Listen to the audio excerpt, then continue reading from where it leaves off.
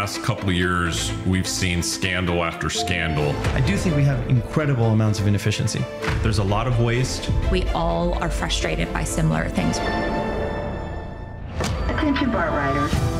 Hey, San Francisco, I'm Ben Kaplan, and this is the podcast where we define who we are and who we want to be. We are San Francisco. Hey, everyone, welcome to We Are San Francisco. Today, we've got a really exciting show lined up. I'm sitting down with four fantastic guests who are all running for District 3 Supervisor Danny Sauter, Eduard Navarro, Moe Jamil, and Sharon Lai. These are some of the key players shaping the future of one of San Francisco's most important districts. We're going to dive into the big issues housing, public safety, the local economy, and hear how they plan to make a difference. Each of them brings something different to the table, and I think you're going to get a lot out of this conversation. So let's jump right in and meet the candidates. And Sharon, why at this particular moment did you decide to run for the Board of Supervisors? I'm running right now because San Francisco has become a really difficult place for working families to stay. We're squeezing the middle class out. And I want to make sure that we have competence uh, at City Hall as well as balanced leadership. Uh, we need to be collaborating. We need to be convening. We need to be rowing in the same direction so that San Francisco can get back on track. Moe, interested to hear what you think. Right now in San Francisco in 2024, we have a unique opportunity to bring some new, fresh ideas and new faces to City Hall. In District 3, we haven't had an open election since 2008. I had some great conversations with folks and decided to raise my hand uh, to be part of that new generation of leadership that this city needs. What do you think, Danny? This is the most important election on the Board of Supervisors. And I truly believe that. District 3 is a set of incredible neighborhoods, but there's some neighborhoods that are hurting right now. Neighborhoods like Fisherman's Wharf and Union Square, most of the financial district is in District 3. Uh, and these are neighborhoods that are challenged from the pandemic. These are neighborhoods that are challenged from tourism still being slow to recover. Uh, so I really see these next four years in District 3 setting the course for the next four years in San Francisco. Eduard? There's a lot to defend here. It's a model that I haven't seen anywhere else where you might know somebody for 30 years, not know their last name, not know what they do, but still very be uh, good friends, right? That's a that's a very particular thing about San Francisco. And I think my practical background allows me to help on a lot of the issues that are at stake currently, for example, housing or issues about public space. And Moe, for those who don't know, District 3, it's an interesting district because it encompasses a lot of different cultural backgrounds. Describe District 3 for people who just aren't a resident and don't know exactly. District 3 is the greatest supervisory district in America. It is the golden goose of San Francisco. It is the northeast corner of the city. It has some of the most historic and oldest neighborhoods in the city. It is a truly an amazing place. It is very diverse. It is the economic engine of the city. Uh, when the TV cameras show up, they come to District 3. And that's why it's critically important that we have strong leadership in that seat.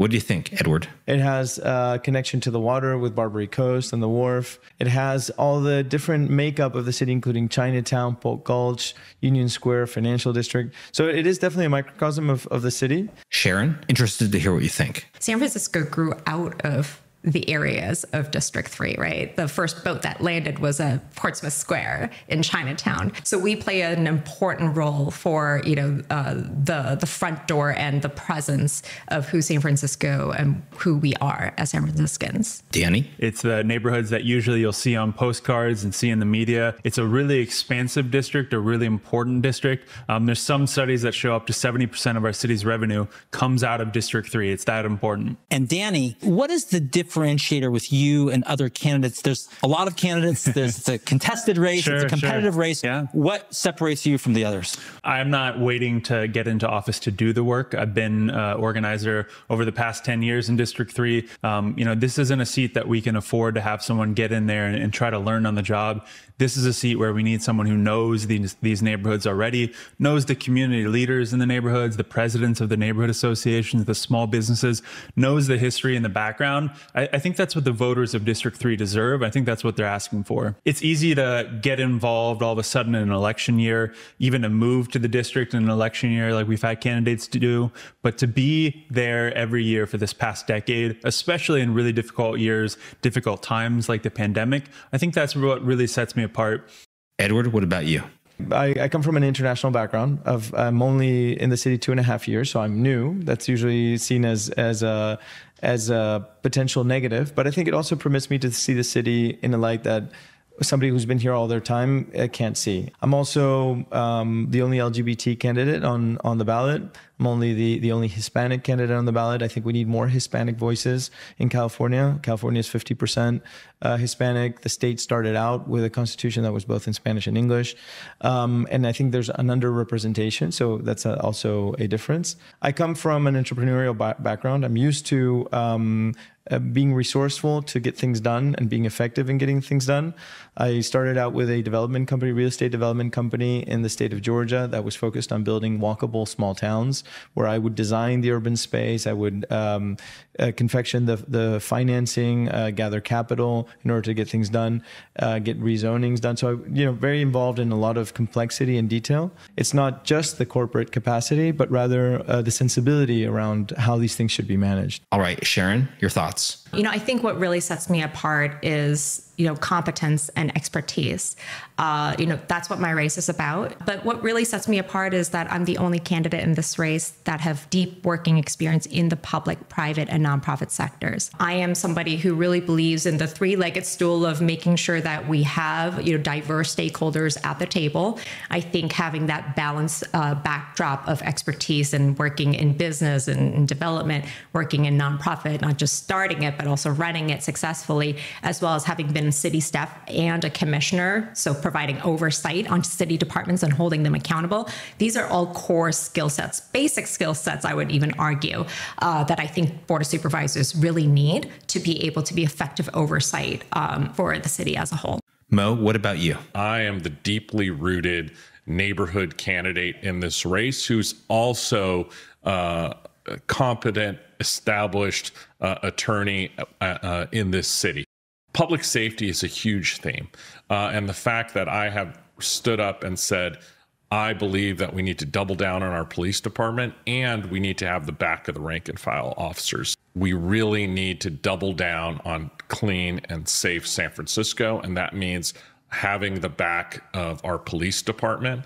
And I'm proudly endorsed by several retired San Francisco police officers, including prominent um, officers in the Chinese American community, like former Deputy Chief Garrett Tom and Captain Bobby Yick. And Moe, what is one idea or policy that's been suggested by a competitor that you think is worthy of consideration? One of my competitors, Ms. Sharon Lai, uh, suggested is having a public safety uh, liaison within uh, the district, and I think that is very important. There's a lot of great ideas there. Uh, the the question is who has the relationships in the community and who has the trust of the community to get those ideas off the finish line. And I think I stand head and shoulders above everyone on that. For example, I agree with Danny Sauter that we need more Cantonese speaking police officers.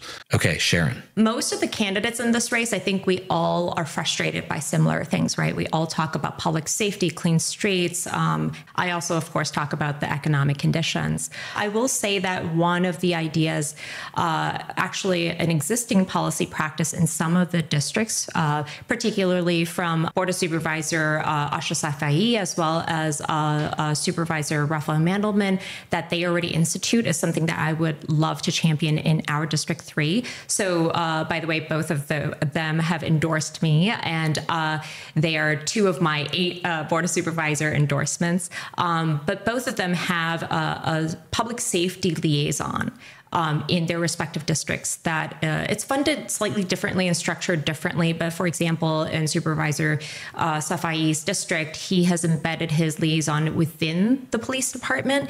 And the main role of that individual is to be the point of contact um, for coordinating across city departments when there is a public safety issue. All right, Danny, your thoughts. I think something that we're all committed to is making sure that all of District 3 gets its resources, all of District 3 gets its attention.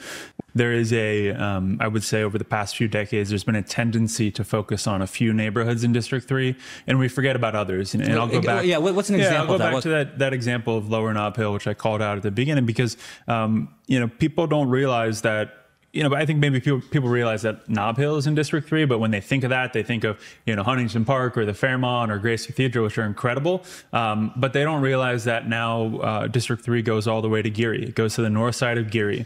And, and these are neighborhoods that are incredibly dense. These are neighborhoods that uh, are, are a little bit more affordable than the rest of San Francisco, are relatively affordable. Uh, and so we have a, a lot of uh, people living in Lower Nob Hill, and they're asking for support. They're asking for resources. Eduard? Well, I think we all probably uh, fall together on things regarding safety. And I don't think anyone has necessarily a negative idea on safety.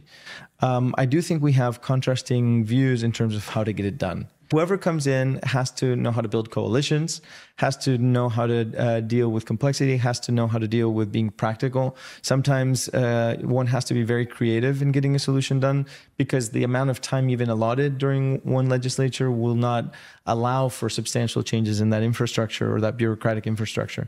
So I think that's one of those things, being realistic about that. And Sharon, let's say it's the day after election, you get elected, and you're given a magic wand to do one thing. You don't have to go to other supervisors. You don't have to get mayoral support. you got a magic wand, Sharon. One thing you can do. It can't be, you know, everything in the world. What do you use that magic wand on for the residents of District 3? I would love to immediately fill back our downtown buildings, all of those vacancies that we have right now. Class A buildings are, are, about 20% down, but the rest of the Class B and C buildings are actually very much suffering. Um, I would immediately fill those buildings with young, innovative uh, companies that are good for our climate agenda. Uh, I would make sure that we immediately uh, convert some of those Class B and C buildings that are appropriate uh, to become residential uses and make sure that we bring foot traffic back to downtown uh, because, uh, you know, as we talked about earlier, you know the the liveliness and the foot traffic in downtown really does have a huge impact on small businesses, especially in the nearby neighborhoods, Union Square, Polk, Chinatown, even North Beach. We really rely on that foot traffic. Okay, Eduard. We need a design framework in the city so we can build as much housing as we want and literally, we could build as much housing as we want, but we don't have to resort to skyscrapers on the water. There's a lack of attention to public space and architecture as a tool to resolve a lot of the issues that we're facing as a city. There's, there are countless projects on the books that, and there's a fight between so called progressives and moderates about housing. And I think neither side has a way to articulate what they're really wanting. Paris is a city that is 106 square kilometers. San Francisco is 124. So more or less they're the same size. But Paris has three times the population of San Francisco. It's three times the population. It's about two and a half million people. Now, you would say, well, uh, so Paris should be a really tall city. It's not. We don't think of Paris as a tall city. We can build 82,000 units in the city. We wouldn't even notice if it's done well. Moe, back to you. Civil service reform. Right now, it takes way too long for the city to hire somebody uh, and it takes way too long for the city government to just uh, manage its human capital. Then we could right size our government and we can be able to get in the talent that we need uh, to really be an effective city and to make sure that the city bureaucracy is responding to neighbors. Because uh, right now there's a feeling that the various city departments are not super engaged with where the neighborhood and community are. Danny? If we're doing one thing, it's an incredibly difficult question, but the, the first thing that comes to mind, because I've ha- been having a lot of conversations about this, is I want to introduce to District 3 a new special use district where we're encouraging more senior and family housing units. And in return for that, we're giving developers greater density, greater allowance. And we're saying that, you know, if you want to go up an additional floor or two, you can do that in return for these priority types of housing units. District 3 has the highest concentration of older adults of any district in San Francisco. It's also the fastest growing age group. And there's a lot of unique challenges around housing for seniors. And so I want us to build as much housing as possible, but I want that to be senior housing if possible. Want it to be family housing if possible. You know, families, even if they have the means to, to afford expensive housing in San Francisco, they're not able to stay in District 3 because there's not enough housing units that are two and three and four bedrooms. Uh, and those are the sorts of housing units that I want us to create. And I think introducing a special use district specific to District 3 would allow us to do that. I'm running for the Board of Trustees because City College holds the key to solving San Francisco's toughest challenges. San Francisco is a safe place to deal drugs. No one is really in charge. I do not have confidence in City Hall. We might propose a solution. Every time you put up a gatekeeper, you put up the potential for corruption. If you have hope, if you think you can solve it, you'll work towards it. You're not alone. If you care about safe streets and a fully staffed police department, care about City College. Will you join me? Eduard, Yeah. do you consider San Francisco city government ineffective? Do you consider it corrupt? Does it suffer from corruption, in your opinion? I think sometimes we can mistake inefficiency for corruption. I do think we have incredible amounts of inefficiency. We have a, a $16 billion budget is insane. It's, it's, it's incredible wealth. Yet, uh, how efficient is it in our spending? I think that that uh, brings up a lot of questions, and it brings up a lot of questions probably because I think the way that it was designed is beautiful. Is uh, there's always an intent in San Francisco to make things democratic, to spread out the responsibility, to get a lot of voices, a lot of stakeholders involved. But that parliamentary way of running things becomes quite cumbersome and results in a lot of a lot of just friction and and expense or lack of accountability. And I think our objectives, what I promote, my three main topics are: we need to uh, um, save our public space, is be kind to our public space, and reclaim it as part of everyone's use. We need to build with heart. We need to be able to, hey, let the market forces play out. Eighty-two thousand or one hundred and sixty thousand units really is not a problem. It's a, but the problem is we have to make it in a way that is enhancing of uh, San Francisco's beauty. But in reality, we have to be very proud of San Francisco and defend our values. Sharon, what do you think? I think we have a major accountability issue. I think that we have an issue of um, the efforts and a lot of the laws that we have to try to prevent the really bad things from happening is also negatively impacting the good players. We have what I would consider a very uh, inefficient outcome um, because what's happening is that we are we actually have a lot of uh, like regulation and requirements as, as a nonprofit you know person that, you know I've worked in nonprofit sectors before. Um, some of the small nonprofits are very much burdened by a lot of the over like the reporting requirements but yet those reporting requirements are actually not preventing the really bad actors from still taking advantage of the system. I think it's absolutely important that in our current uh, financial situation within the city, yes, we have to grow back our revenues and make sure that we're no longer in a budget deficit, but we also have to be smarter and more responsible when it comes to our expenditures. And this is where my expertise and my background will come into play. You, you know, previously asked about, you know, how I am different from the other candidates. You know, honestly, I think a lot of us uh, are frustrated by similar issues at the city, and I think we all want change. But this race isn't about who cares the most, it's about who can actually deliver uh, the change that the city really needs on the good government side. Moe, agree or disagree? It's disturbing that over the last couple of years, we've seen scandal after scandal. I do think that we need wholesale change in some of the ways that we do things, particularly contracting. Um, we should have a public process.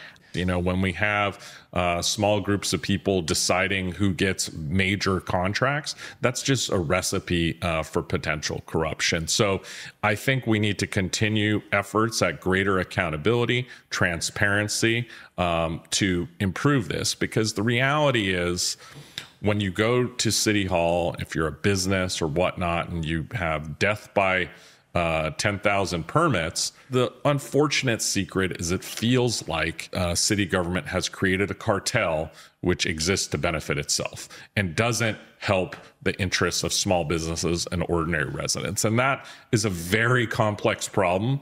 It did not uh, happen overnight. It built up after over decades. Uh, but I am prepared to partner with the mayor and other members of the board to um, pass some common sense reforms to try to get get some improvement there. Danny, agree? There are parts of our government that are working really well. I think it's incumbent upon us to to find out what's working in some of those departments and take it over to the rest. There's a lot of waste. Um, there's a lot of uh, duplicative work, right? You know, the fact that there's nine different departments that touch homelessness, um, that there's multiple different uh, programs uh, that should be combined. That we have, you know, almost 200 different commissions and committees and working bodies and task force. Um, So, so I am thankful that there, I think, are some serious efforts to re- make reform, to look at our commissions, to look at our charter. Um, you know, th- this city and, and, this giant bureaucracy of our $16 billion budget, nearly 40,000 city employees, um, you know, from time to time, it needs to be revised, it needs to be modified and edited. And I think there's some some good people working on that right now. And Sharon, final question I want to ask you is just um, something very relevant to District 3, relevant to the whole city, which is um, something I'm, I'm really interested in City College of San Francisco. City College of San Francisco has been under you know tough times. There was a lot of people who fought to get a branch campus in Chinatown, which is in District 3. Right. What do you think the importance of city colleges to District 3 residents? What should we be doing differently when it seems like that campus is underutilized?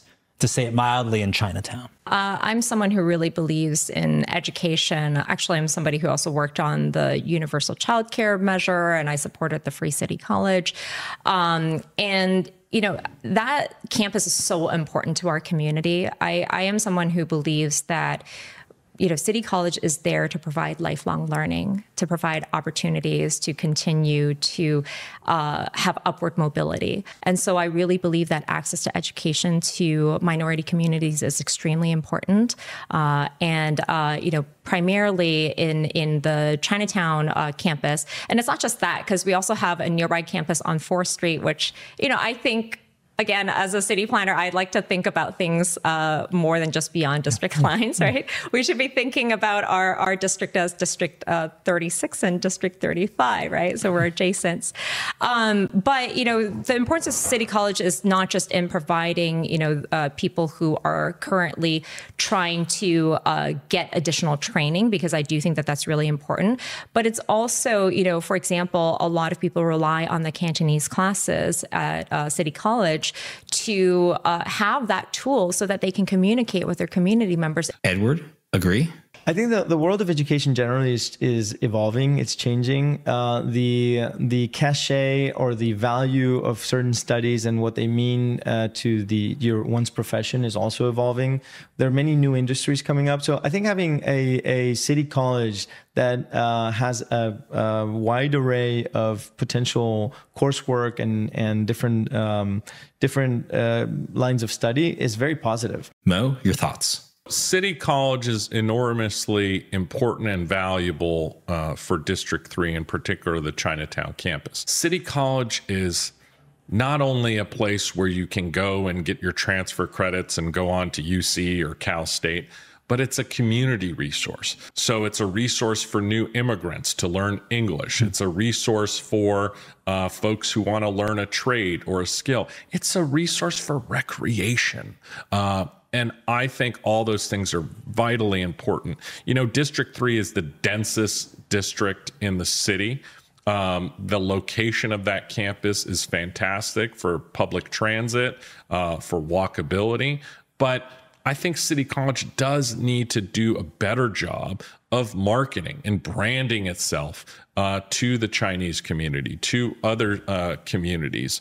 Um, and that could really, really help City College. And I will stand as a partner uh, with City College to make that happen. Danny, your thoughts? we're always looking for space. We're always looking for for places to hold meetings, uh, to hold talks, and for City College to have that and not use it to its full ability, I think is is unfortunate. It can be a space for the neighborhood to gather, and I think that exposes it to the residents to to make them realize that hey, this is also a place to come and take classes. We have one of our volunteers who's taking English classes there, and, and they're having a fantastic experience. But there's too many uh, members that are right there in Chinatown, right there in, in North Beach or Russian Hill, who don't know about it as a resource, uh, and it needs to be more open. It needs to be more embraced by the community.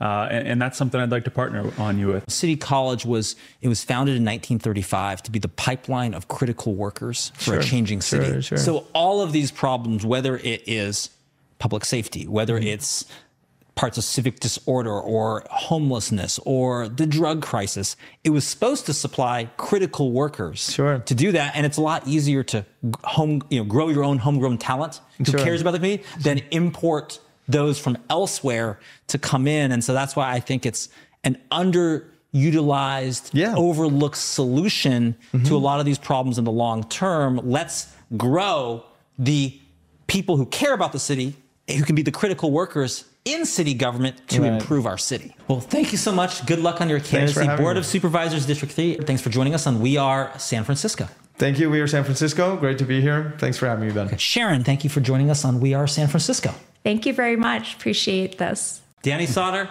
best of luck on your campaign. Thank you, Ben. Happy to be here. Moe Jamil, thank you so much for joining us on We Are San Francisco. Thank you, Ben, and We Are San Francisco.